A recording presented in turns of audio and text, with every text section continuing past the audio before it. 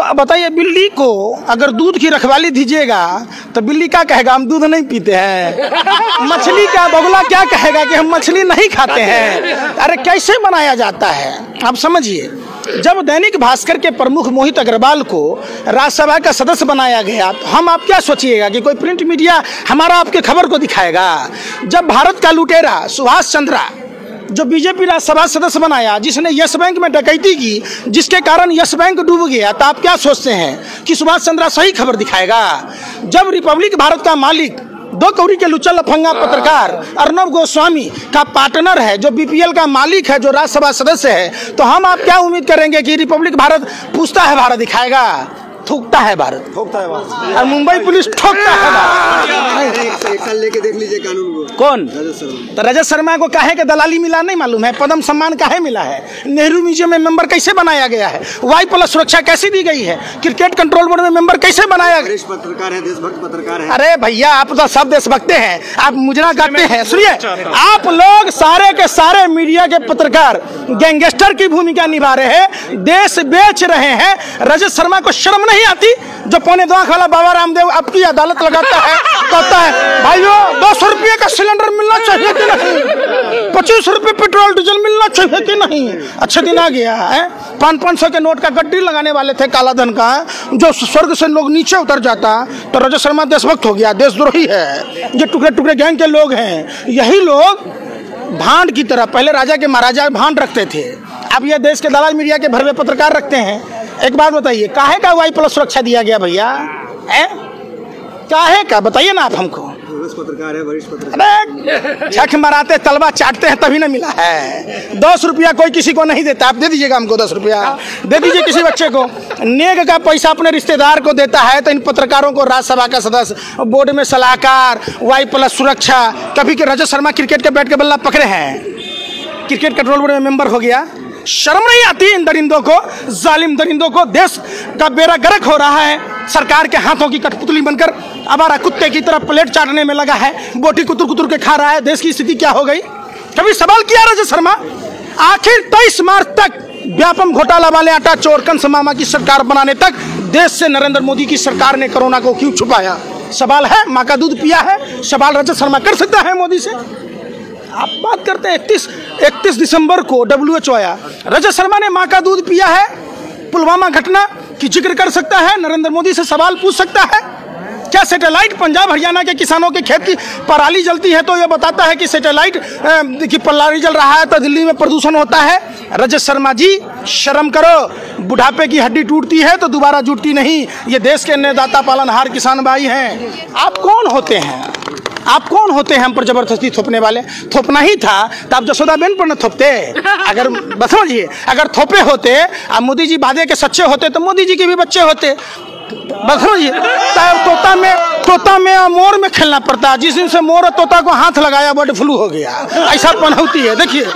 समझिए पनौती कितना बड़ा है? किसान बर्ड फ्लू चिकन खा के अरे सुनिए इतना भी भरवा मत बनिए भैया। कहे ना कि आप जैसे पत्रकारों का दिल करता है जूता खोल के पिटाई करें जिसकी मांग भरा हाथ लगाया।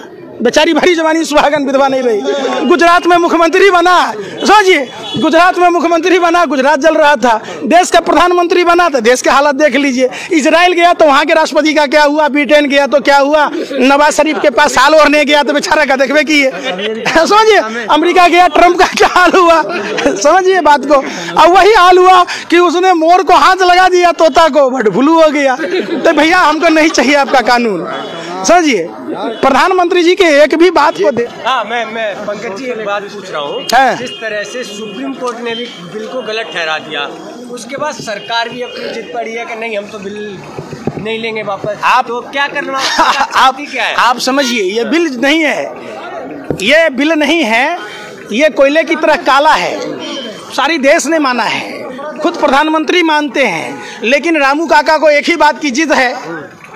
ये कोई नया मालिक, बच्चा तो नहीं कि नए मालिक को समझाएँगे, मुकेश अंबानी को समझाना है। तो जो कहता था अपने को, माँ गंगा का लाल, वो निकला अंबानी, अडानी का दलाल, देश ने देखा है। जब मुकेश अंबानी जियो फ़ोन को लॉन्च करते हैं तो प्रधानमंत्री MTNL और BSNL कंपनी को डुबोते हैं, और उसके ब्रांड एम्बेसडर सेल्समैन सप्लायर तीनों बनते हैं। सरकारी कंपनियों में जियो फ़ोन बांटी जाती है। खुद प्रधानमंत्री जी को इतनी भी संवेदना नहीं है कि पूरे देश में तीस दिन का कैलेंडर चलता है। और मोदी सरकार में अट्ठाईस दिन का कैलेंडर चलता है दूरसंचार कंपनियों में। आप समझिए, आप यानी सत्ताईस दिन में रिचार्ज कराइए। और उन कंपनियों से चंदा ले लिया पार्टी का कार्यालय बना लिया, एक हज़ार कार्यालय बना लिया, और भी कार्यालय बनाने हैं देश में, एक भी अस्पताल नहीं बनाया, एक भी स्कूल, कॉलेज नहीं बनाया। एक बात बताइए, जब लाइफ टाइम वैलिडिटी है तो कंपलसरी उनचास रुपये का रिचार्ज कराना ज़रूरी था, हैं? और भी देश में अच्छे काम किए वो आपको नहीं दिखता। राफेल अरे आप लोग दलाली भरवागिरी करते शर्म नहीं आता। कौन कहेगा आपका पत्रकार? आप लोग लोकतंत्र में जंग की तरह हैं बिल्कुल खा रहे देश को। शर्म नहीं आती? देश का जीडीपी कहाँ है? देश में हर साल दो करोड़ युवाओं को रोज़गार देना था। बेरोजगार बना दिया। लोगों को ट्रेनें बंद कर दी गई। देश का जीडीपी माइनस में चला गया। हम बांग्लादेश से पीछे हो गए। इनसे सरहद नहीं संभली। सैटेलाइट ये नहीं बताया कि गलवान में कब चाइना आ गया। आप लोग इतने बेशरम और निर्लज हो गए। काय के लिए पत्रकारिता करते हैं? आप लोग घगड़ा चोली पहन लीजिए, ठुमका लगाइए चौथे रहे पर नाचिएगा तो चार लोग समझ के प्रधानमंत्री लगातार प्रयास कर रहे हैं कक्ष में जा रहे हैं हर जगह लोगों को समझा रहे हैं उनके प्रवक्ता समझा रहे हैं। अरे पर कौन संदीप पात्रा? थे- हरामखोर 27 लाख रुपया का एनजीसी से पैकेज लेता है जो गुजरात गैस लिमिटेड डूब रहा था उसको एनजीसी में कन्वर्ट कर दिया। भारत की नवरत्न कंपनी थी आप बेशर्मी की हद पार कीजिएगा। वही संदीप पात्रा 27 लाख रुपया का एनजीसी से फ्री का पैकेज लेता है और बुलानी के नाम पर मकान लेके रहता है। फ्री का खाने वाला बारह हिंदू राव में था। उस महिला के साथ क्या हुआ? आप कभी पूछा सवाल? जब नोटबंदी था, साढ़े छियासठ लाख रुपये।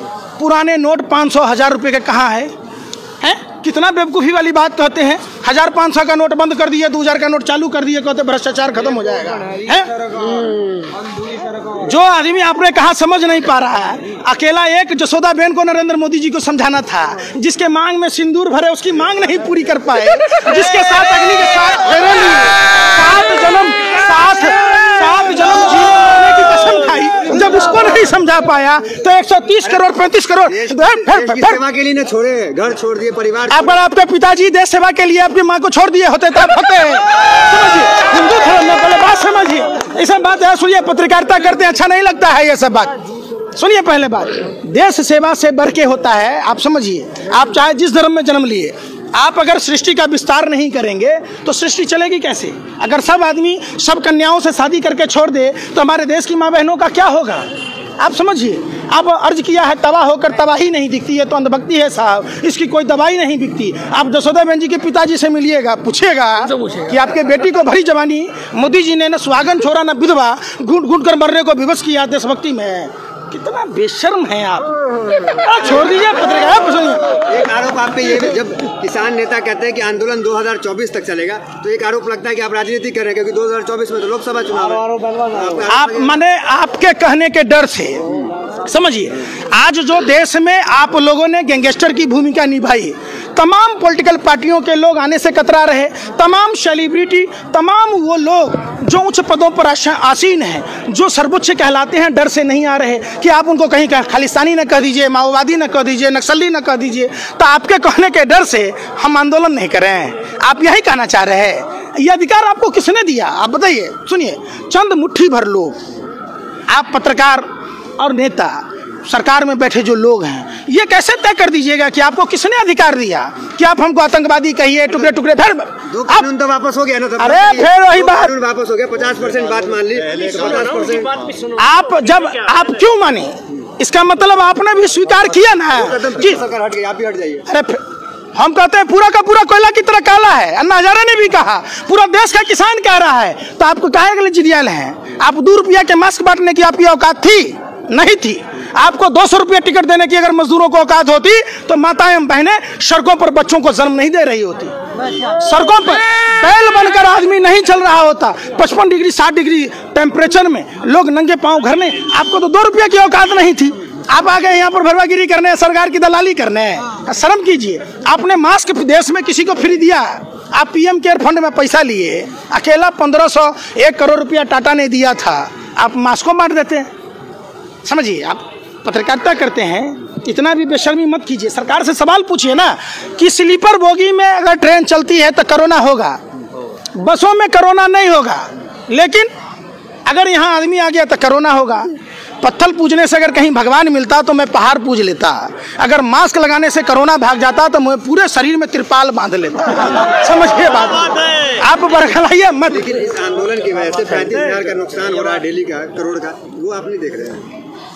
आप आप जैसे पत्रकारों को मन करता है जूता खोल के मारूं। समझिए पूछे क्यों? सवाल उठता है इसलिए। जब डब्ल्यू ने 31 दिसंबर को कहा तो आपने दिल्ली के चुनाव कराए। दिल्ली चुनाव में रंगाबिल्ला प्रॉपर्टी डीलर ने पर्चे बांटे। फरवरी में नमस्ते ट्रंप की गई। समझिए आप? ट्रंप की गुलामी की गई। तेईस मार्च तक व्यापम घोटाला वाले आटा चोर जो भाजपा से हैं कौन है? सबराज सिंह। शिवराज नहीं सबराज। जिसके कारण उस व्यापम घोटाला वाले आटा चोर कंस मामा को मुख्यमंत्री बनाने के चक्कर में पूरे देश को कोरोना में झोंक दिया गया। तब कोरोना नहीं फैला। सुनिए पहले पत्रकारिता करते हैं। तब दे, दे, देश को नुकसान नहीं हो रहा था। आपको क्या करना था?